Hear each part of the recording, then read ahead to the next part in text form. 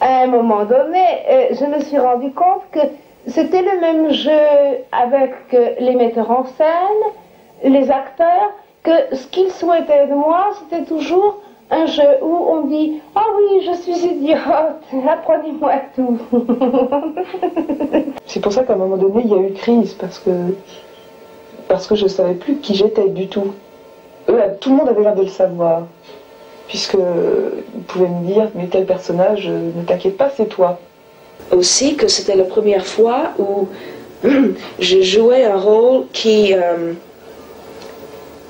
d'une femme qui ne jouait pas des rôles.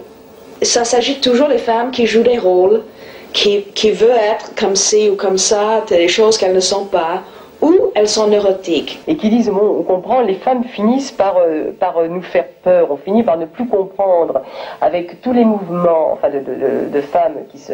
On ne finit par ne plus savoir comment écrire pour elles. Et Truffaut, à mon avis, m'a dit il faut vraiment que les femmes se prennent, se prennent en main et qu'elles écrivent pour elles et qu'elles écrivent ce qu'elles ce qu'elles sentent et ce qu'elles veulent. euh, ça aurait effectivement fait un film absolument insupportable pour les gens bien pensants.